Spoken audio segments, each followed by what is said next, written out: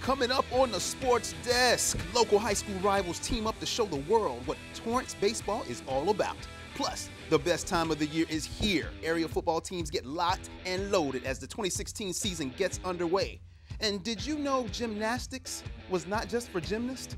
Learn how these acrobatic feats can help you be a better you. All that and more coming up right now.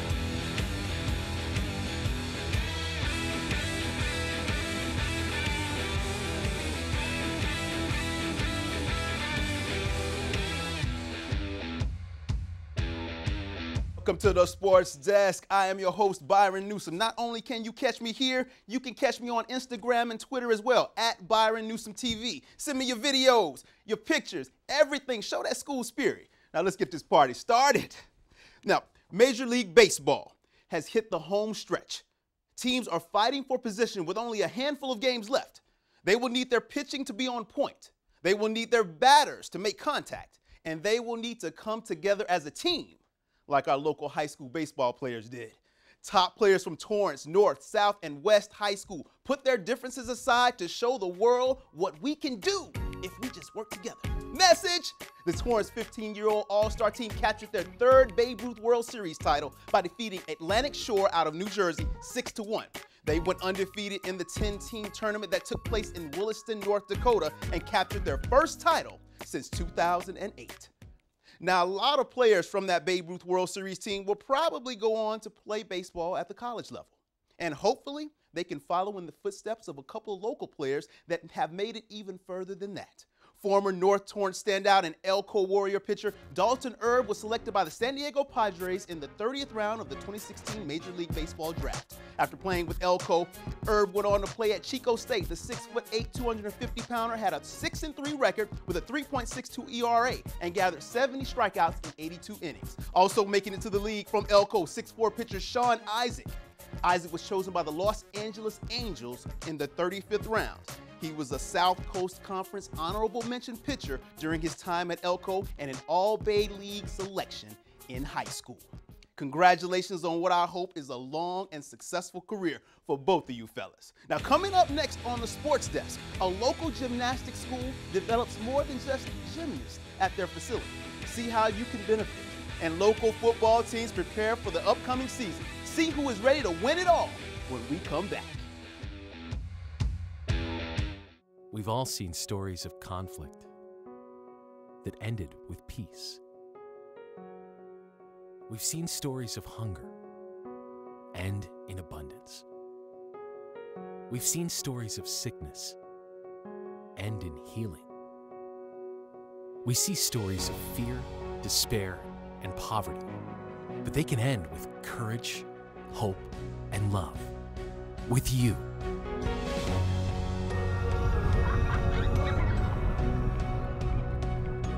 Together, with God's love, we are greater than hardship in the world. When we're united, we can overcome adversity and make a lasting difference for those who need it most. Be a part of writing a story that's greater than poverty and help communities give children hope for a brighter future. Learn how at worldvision.org. I see my friends out there getting waves and talking about them, and I know exactly what they're doing and what they're feeling and everything. It's like, it's hard. I was diagnosed when I was uh, 57. It was a surprise to me when they told me I had MS. It's like, you sure? Well, the idea is this is a uh, 360 degree virtual reality camera rig. Steve hasn't been able to ride a wave in way too many years, so now I'm gonna ride a wave and we get to share it with him. Well, we're gonna do something. Just put that on your head. Whoa. Oh, this is unreal. Coming up, coming up, coming up. Boom! Nice, nice. This is fantastic. Here, let me set it up and you get into Set the it up. ride. Let's do that again. If you are just tuning in, don't forget that you can see what the Sports Desk has been cooking all week long by going to at Byron Newsome TV on Twitter and Instagram. I'll be sprinkling your timeline with scores, stories, and all kinds of great ideas, so don't miss it. Another thing you don't want to miss is when you're in the city of Torrance, is a chance to go to the beach. Torrance is the city in the South Bay of Los Angeles County, and it has over a mile and a half of beach running along the Pacific Ocean. That being said, just about everyone here can swim. And if you can't, you might want to learn so you can be a part of this City of Torrance tradition. Over 60 years ago, Aquacade began. It's a water spectacle that consists of swimming and diving with musical accompaniment. And the City of Torrance has continued the event that happens every summer. This year's theme was Summer Jam's mixtape, Block Party Weekend. So, kind of like you're listening to the radio and you're hearing all these really great songs that kind of take you back to a really fun time or some point in the summer when you're out with your friends and you hear a song and you're like, yes, it's time to party and have a good time. A really good time. And to be a part of this good time having synchronized swim team, many of the performers have put in years of work. I did swimming ever since I was three when I used to do ballet lessons over here and I just I just kind of go grew with like how strong I was swimming because they moved me up really fast with the, all the positions and stuff. So then my mom decided that I should do synchronized swimming, so that's what I started doing. I've been swimming since I was like really little, but I got into synchro swimming um, because me and my group of friends all wanted to try something together. So that was really fun. And just like any other sport, members of this synchro swim team learn skills that can take them anywhere. And I think it really teaches them how to be an individual, but also how to work in a team, which is also important for so many other aspects of their life. To find out how you can be part of Aquacade next summer, call this number or go to torranceca.gov. Now let's dry off a little bit and take it inside to a local Torrance gymnastics school. Flight School Gymnastics is teaching its students more than just how to flip and turn. And according to some of the students, no matter what your goals are, this school can help you reach them. Just a few weeks ago during the Rio 2016 Olympics, the United States gymnastics team made getting the gold look easy and fun. So much fun that a local gymnastics school in Torrance felt the effects. Our enrollments have gone up because people are thinking, wow, gymnastics is such an awesome sport that they saw how great the Final Five were and what great girls they became, not just not just gymnasts, but young ladies and great people. And we, I think a lot of that comes from gymnastics. Suzanne and her business partners do a great job to provide an atmosphere where students will not only learn gymnastics, they actually enjoy themselves while doing it. The environment here is definitely like really fun and all the girls here are just so so welcoming and so happy and all the coaches here are also welcoming and they're very helpful and uh, the environment here in general is just amazing. It's definitely a place people would want to be around. Flight School Gymnastics helps students develop strength, flexibility, balance, and many other skills that can be used in other sports as well. I do work with a lot of extreme uh, sports athletes. I've worked with Team Red Bull, Team Billabong, uh, Nike and Hurley, uh, training some of their surfers, uh, skaters, bike riders. So it's been nice. I've been able to kind of share what I've learned and uh, work with them. Aside from the many physical benefits, gymnastics has helped these young ladies in their personal development as well. Definitely taught me hard work, dedication, um, putting all of your time into one thing and just being the best you can be at it. The co-owners Suzanne and Chris say that enrollment has surpassed their expectations and they are looking to continue to grow even more over the next year.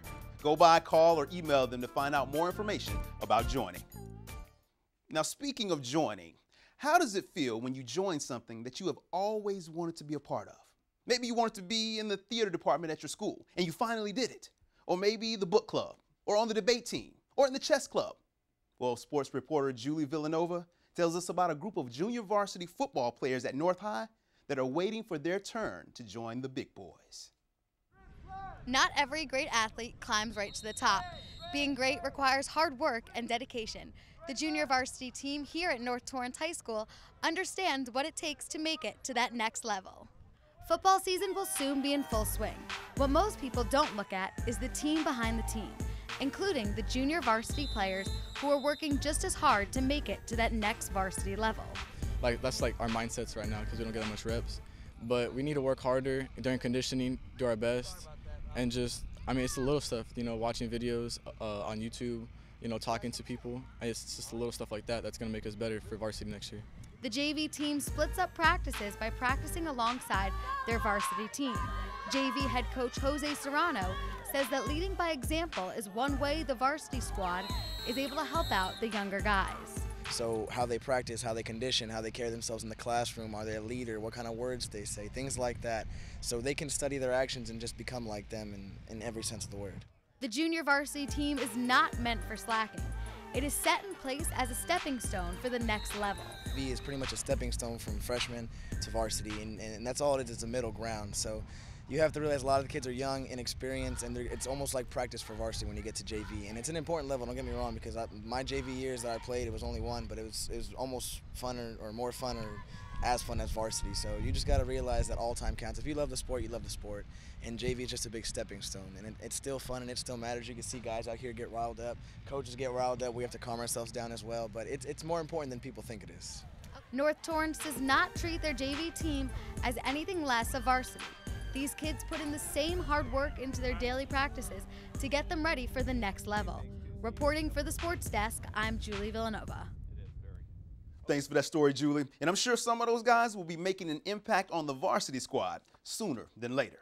Coming up on the sports desk, everyone is undefeated.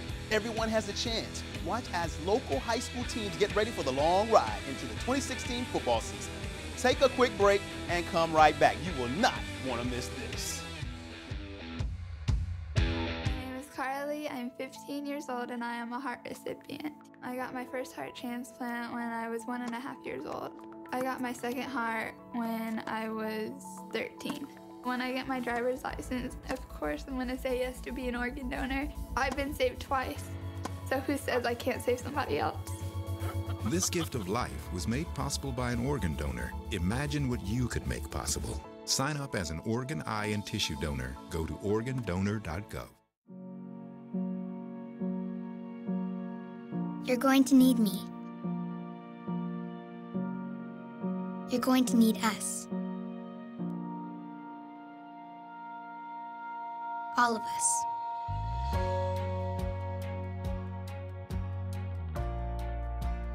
You're going to need our technical skills, our math, our engineering skills. You're going to need our help with your water, your air, your food. You're going to need our organizational skills, our problem solving skills.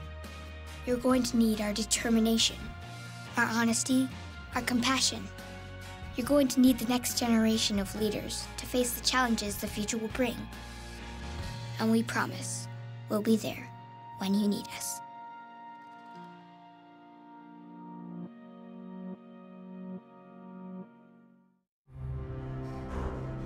It's about putting others first.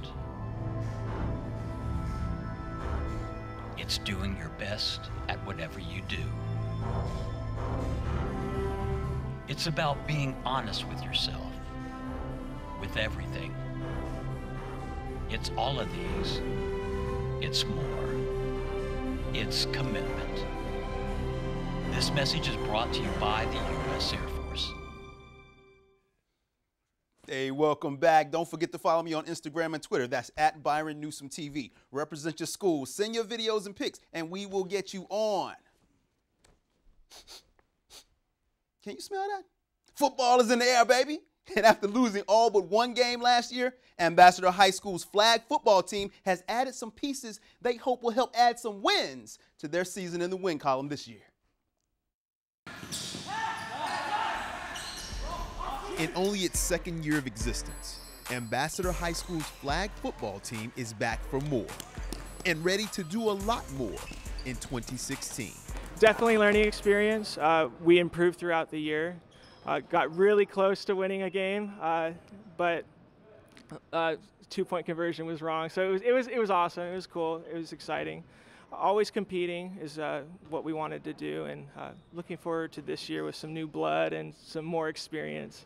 While getting better on the field is important, Ambassador High strives to push their students to another level. For us, excellence is, is a big uh, is a big part of our school. We're really focused on our kids succeeding in the classroom and on the field, and then maintaining their character. So character is essential. You can't have one without the other.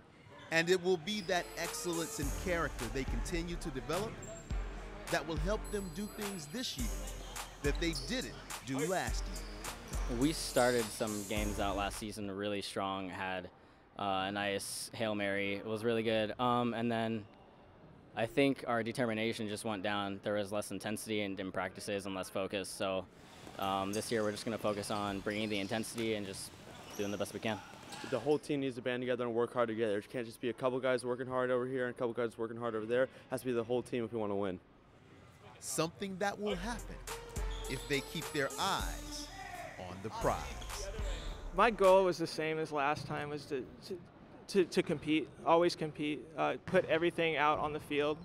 We win, that's great. Uh, I thought, I thought, you know, for sure we were going to win, you know, all the games, and I, I, still feel that way this this year as well. Um, but just really want to put everything out there and uh, leave nothing, leave nothing back. Ambassador High is a small school, but it is growing, and they will be competing in the Coastal Eight Man Flag Football League this season.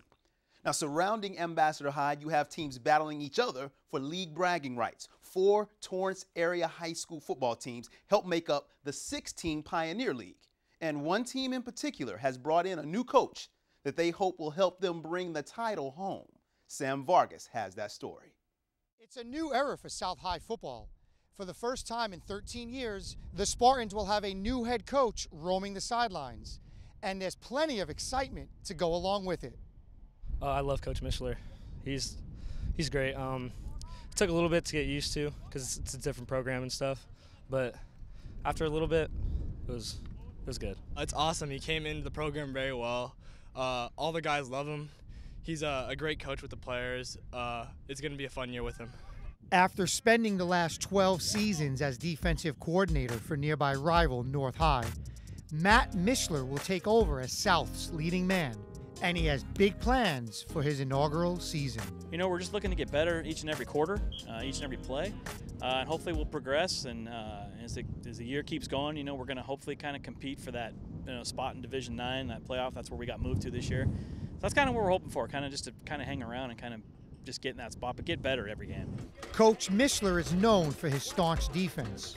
During his final season at North, the Saxons allowed just 11.6 points per game while posting an impressive five shutouts.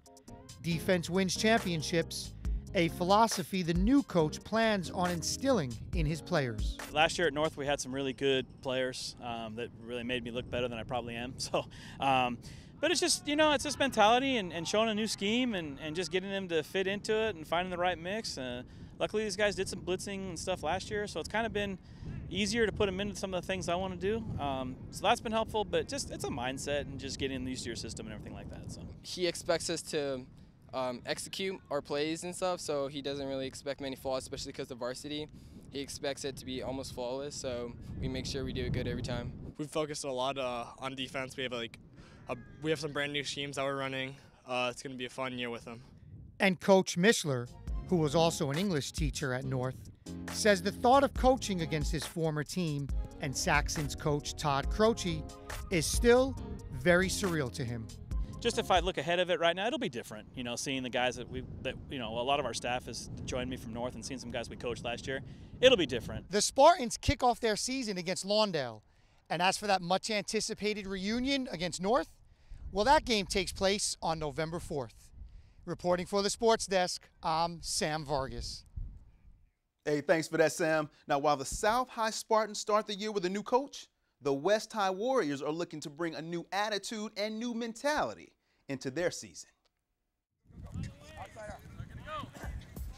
The 2015 season did not go as planned for the West Warriors, something Coach Greg Holt remembers vividly. We were disappointed, to be quite honest with you, especially as a coaching staff, that we lost in the first round. I mean, we lost to a good football team, but in Redondo, but you know, we were up 21 to 7 in the second quarter. And uh, at halftime, it was 21 14, and I knew things would get a little tight. So disappointed that we lost that game. I didn't think that, uh, you know, that team just didn't come together quite as well as we thought it would. Uh, uh, you know, we had hoped it had, had and, uh, you know, in the years past, those teams did. And, and, you know, it pays off when you got a little chemistry.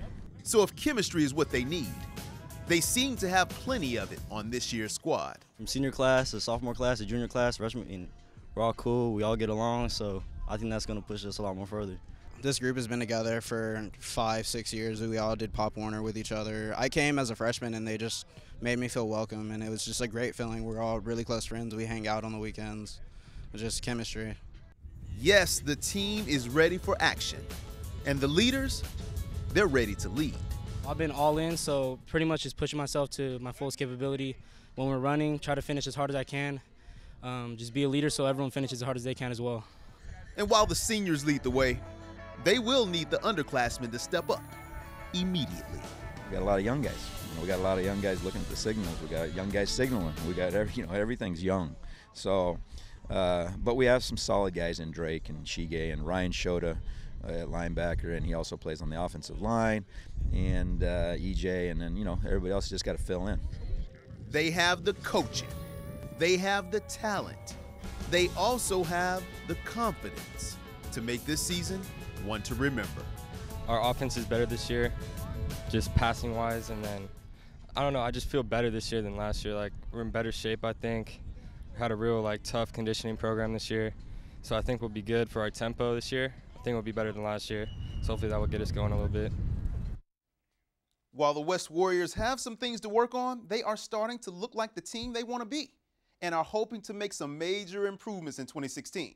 Now, just 10 miles up the road, not even 10 miles, 10 minutes actually, another team is trying to bounce back after a dismal season. Sam Vargas tells us how the Torrance Tartars are putting forth the effort that they hope will lead to some positive results this year.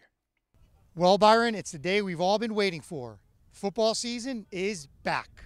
And after a long off season, the players here at Torrance High are more than ready to get back to work. It's a great feeling. Uh, excitement's great. Uh, team's feeling good, and offense is getting together. Defense is flying to the ball. Everything's feeling good. It's just a great feeling to be back here. Most of the guys are looking in pretty good shape, so it looks it's looking good right now. The Tartars are led by veteran head coach Rock Hollis.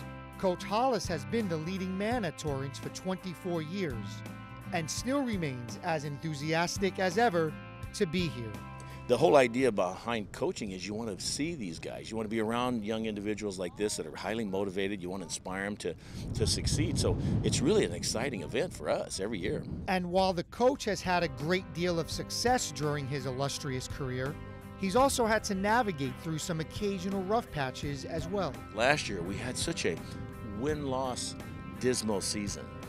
Um, but the guys, I'm telling you, nobody quit.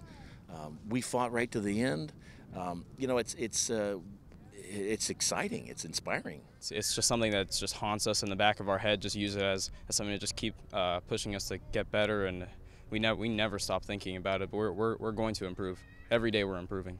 This year, however, the team is a little older and more experienced. That, along with the addition of some exciting new transfers, has everyone around the team extremely optimistic and ready to return to their winning ways. All these guys are returning. I got a couple of uh, young guys that are uh, all league returners. I've got some additions that uh, have come in. I actually had a guy uh, transfer in um, that's uh, 6'5", he's about 300 pounds. I had another guy transfer in, he's about 6'3", 300 pounds. So those guys we have to work in, but in the mix, oh my goodness, with the guys that are returning, I'm, I'm pretty jacked. We have a lot of returners uh, that played, that got their experience from last year. Last year we uh, we, we were growing, and now now we feel like we're, we're ready to take the Pioneer League. And despite the recent setbacks, if you asked any of these players about their coach, you will quickly realize there is no one else they would rather play for. He's a great coach. He's one of the best out there. He's like a almost like a father figure to me. He's just a friendly guy. Uh, good personality, good person to be around. He's just fun. Coach Hollis is a wonderful coach. He he's he's a maniac. He he really puts spirit into into his players, and it really it really shows. It, it's gonna it's going to show this season in our, in our in our play. The Tartars kick off their season against Mira Costa. Reporting for the Sports Desk, I'm Sam Vargas.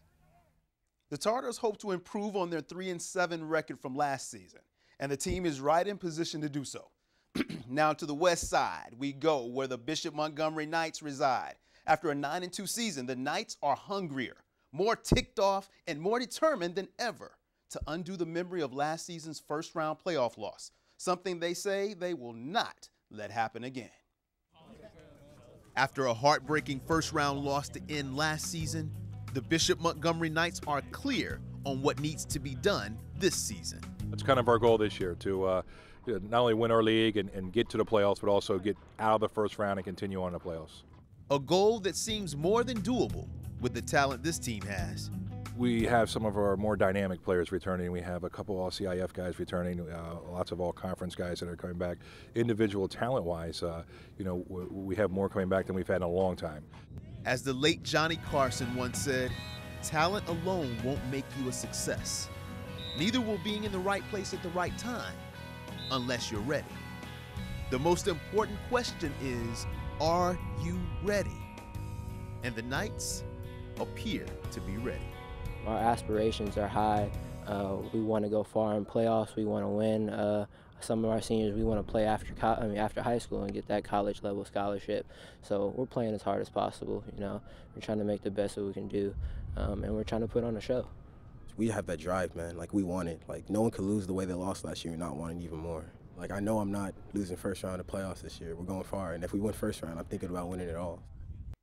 Bishop Montgomery, North, South, West, Torrance, and Ambassador High. I cannot wait to see what you do this season on the field. The sports desk is coming to your school, so be ready. But that is it for us this week. Make sure you tune in next time. We have got the Torrance sports scene on lock, from the little ones all the way up to the big ones. Check us out on Facebook, Instagram, and Twitter or sprinkle your school spirit on me as well, and I'll get you on. Keep rising to the top, Torrance. We'll see you next time.